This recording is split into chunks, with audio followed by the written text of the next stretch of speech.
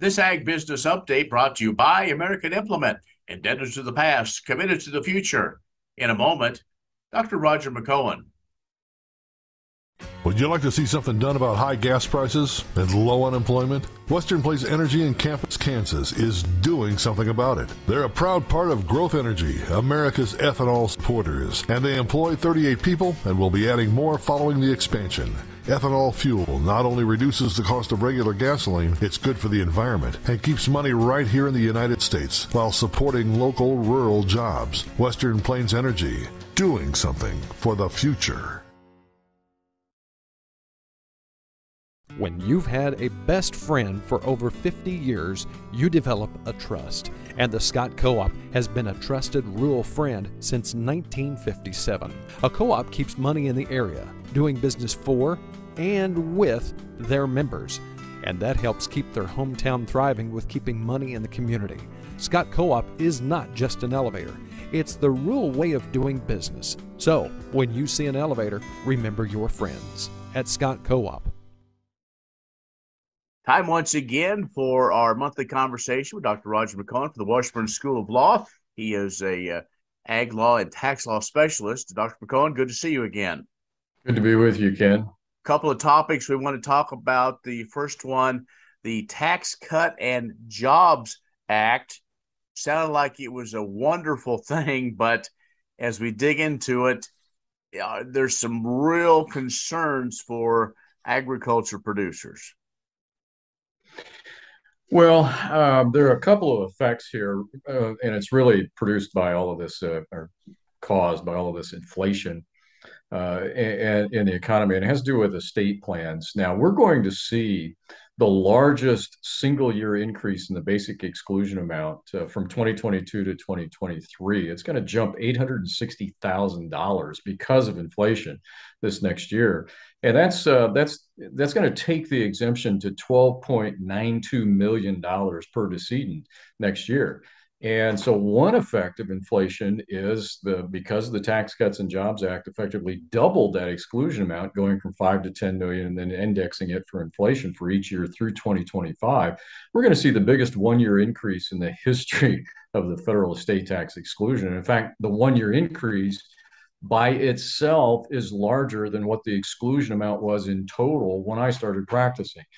And so uh, we're going to have very, very few uh, farm and ranch estates that will be subject to federal estate tax. But the the other aspect of inflation that's in the economy right now is that it's increasing land values. We're seeing, uh, if you look at Iowa land values, it's kind of a, a benchmark uh, for many parts of the country and the Midwest and in some parts of the Plain states. We've seen a doubling of land values last two and a half years.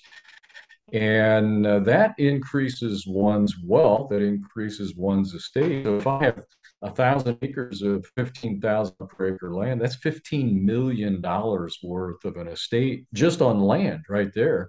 And I'm already over the 12.92 next year. So uh, yeah, there, there's some of that effect. Plus the other impact on inflation uh, that inflation does is uh, the, the stock market has taken a dive. And so what funds you have in retirement accounts uh, have lost quite a bit. Plus any remaining funds that you have, the cash now is worth less because it's not uh, buying as much due to inflation. So there are a lot of things to think about it concerning estate planning and financial planning because of inflation in the economy. Right.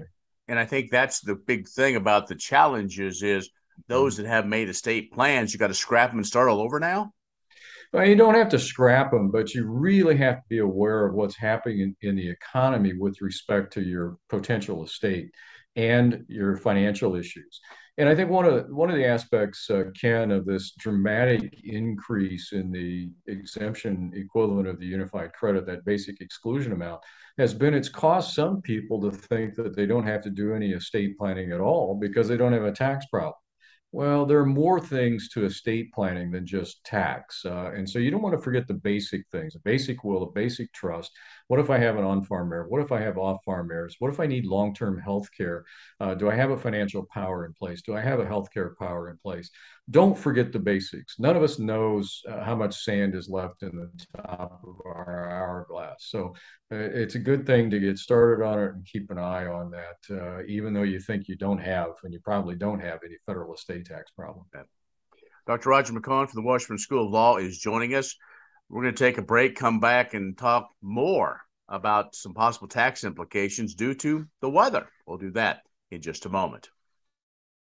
S&S Trailer Sales with two locations in Ness City, Kansas is where everybody goes to buy or rent trailers.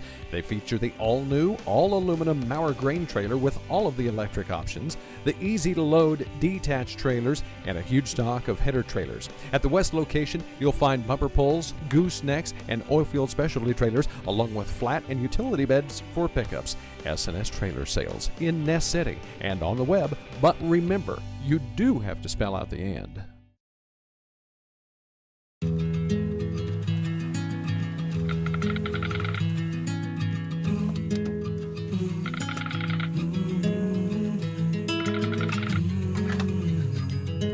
Cost of everything has gone up dramatically over the last 75 years. With one exception keeping electricity affordable. Wheatland Electric, delivering energy for life, your touchstone energy cooperative. And joining us is Dr. Roger McEowen from the Washburn School of Law. It's our monthly conversation with him. And uh, Dr. McEowen, another thing we want to uh, talk about is we know that uh, much of the Great Plains has been affected by drought, and uh, not only this year but multiple years. But not every county in, in, in the in the tax code, the federal government allows for some relief, but not every county in Kansas qualifies, and that may surprise some. Yeah, um, th- there are two provisions that we work with in the tax code when we have a, a livestock owner that sells more livestock in any given year than they normally would. So this these provisions apply to the excess sales, and this is a really big issue this year across the plain states uh, and uh, in other parts further west in the country because of prolonged drought. We're seeing a dramatic reduction in the cattle herd uh, in particular and lots of sales.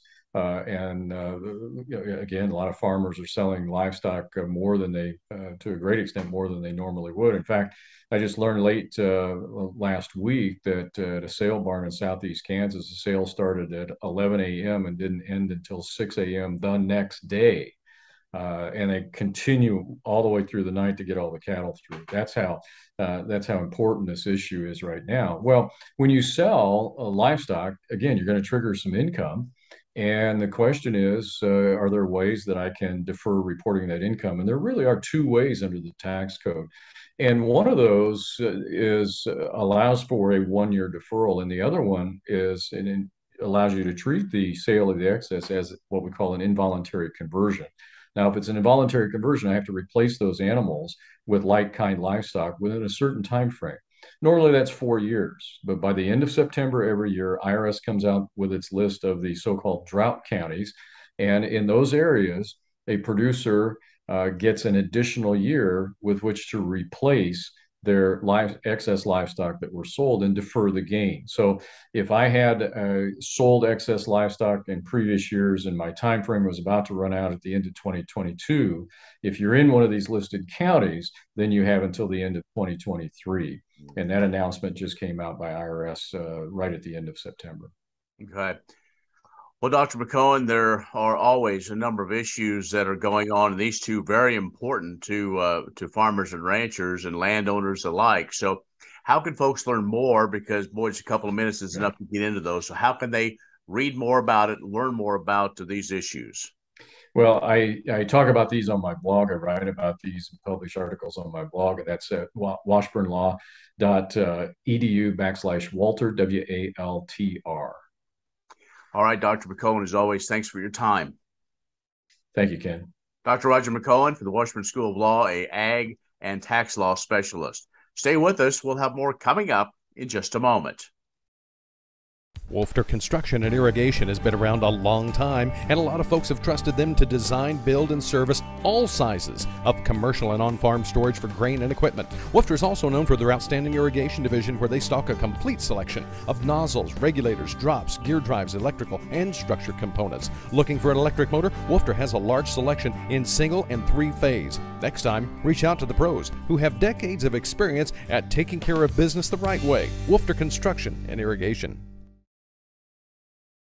KBUF Radio has ag information for you weekdays beginning at 6 with Agriculture Today. Then from 7 to 11, it's the KBUF Morning Show. We talk a lot about the markets as well as have interviews with newsmakers, as well weather and a whole lot of ag information to help you make good decisions on the farm and ranch. Plus, Max Armstrong and his morning commentaries. You can follow along at westernkansasnews.com, even listen to any Western Kansas broadcast station live on that website. We also have a couple social media channels you might want to check out as well. I'm Ken Rogers. Thanks for watching.